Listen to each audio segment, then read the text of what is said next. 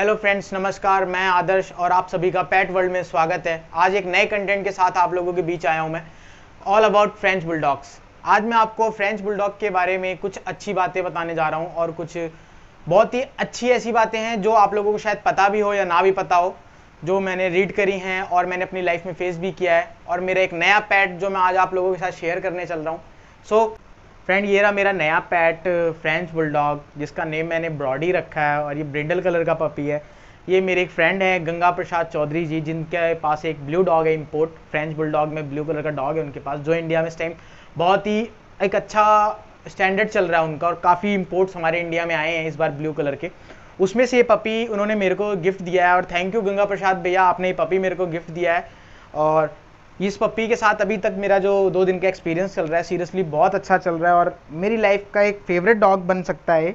I think बन चुका है मैं इसके बारे में आपको कुछ अच्छी चीज़ें बताऊँगा, जैसे कि फ्रेंच बुलडॉग फ्रेंड्स अगर आप भी कभी लो तो उसमें आपको क्या चीज़ें देखनी चाहिए? पहली चीज़ पपी के भी कभी भी ईयर्स समय 35 से पहले अगर खड़े हो जाते हैं इट मीन्स उसको इंटरनल प्रॉब्लम है इंटरनल वीक है पपी आपका।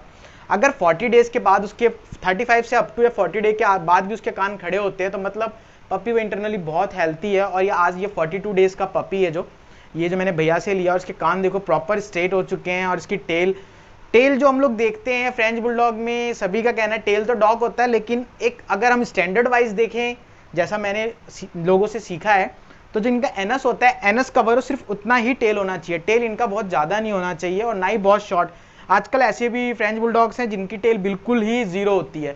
तो ज़ीरो इट मीन्स शायद मैं कह नहीं सकता हूँ जेनेटिक हो या जेनेटिक भी हो तो मुझे कोई आइडिया नहीं। बट हाँ जितना मैंने रीड कराया उतना मेरे को इतना जानता हूँ मैं कि एक एनस इसका कवर होना चाहिए इतनी टेल होनी चाहिए इसकी फ्रेंच बुलडॉग की। सो so, इस पपी के साथ मेरा बहुत अच्छा अभी तक एक्सपीरियंस रहा और मैं आगे भी आप लोगों के साथ इसके बारे में शेयर करता रहूँगा।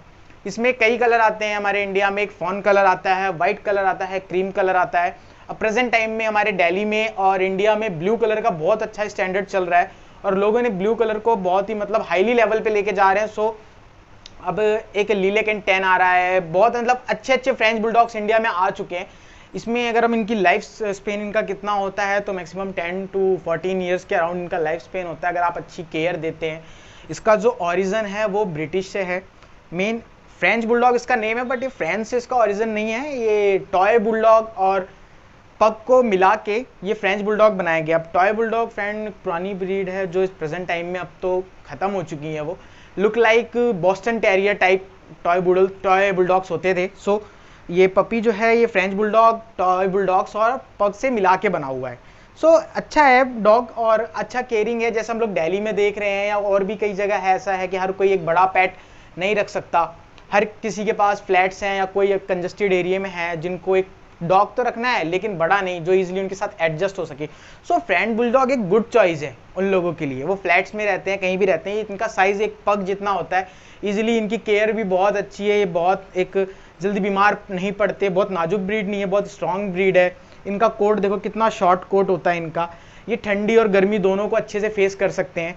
गर्मी भी इन्हें लेकिन शॉर्ट कोट होने के नाते ज़्यादा गर्मी भी फेस नहीं कर सकते और ना ही ज़्यादा ठंडी फेस कर सकते हैं। सो इनको हमेशा एक अच्छा टेम्परेचर आपको मेंटेन करना पड़ेगा। खाने पीने में इनके कोई नखड़े नहीं होते।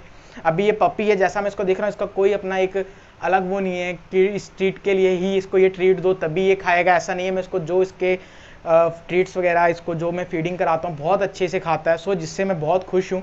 और थैंक यू गंगा भैया, आपके यहाँ से जो मैंने पपी लिया है। और मेरा इसके साथ अभी तक का जो दो दिन का एक्सपीरियंस मैं आपके साथ शेयर कर रहा हूँ, मुझे बहुत अच्छा लग रहा है और शायद मेरी लाइफ का फेवरेट डॉग बनेगा ये।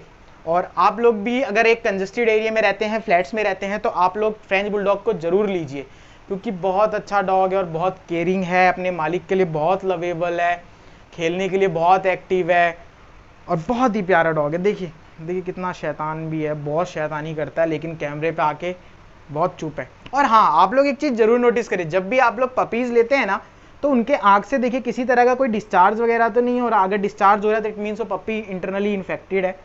ये देखिए, और इनके मज़ल वगैरह होने अच्छे होने चाहिए नोज़ से कुछ चीज़ डिस्चार्ज तो नहीं हो रही। और काफ़ी अच्छे से आप इसको रीड करिए, अच्छे से समझिए, तब आप एक डॉग अडॉप्ट करिए, मैं तो ये बोलूँगा।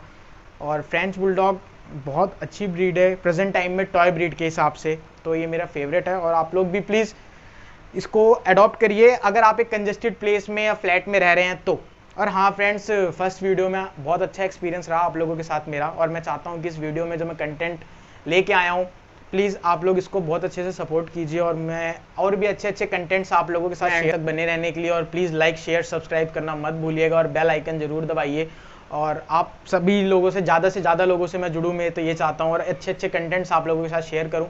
सो so, प्लीज़ इस वीडियो को सबसे ज़्यादा लाइक शेयर सब्सक्राइब कीजिए। बहुत मेहनत लगती है friends so thank you very much bye bye take care जय श्री राम. सत श्रीकाल बाय बाय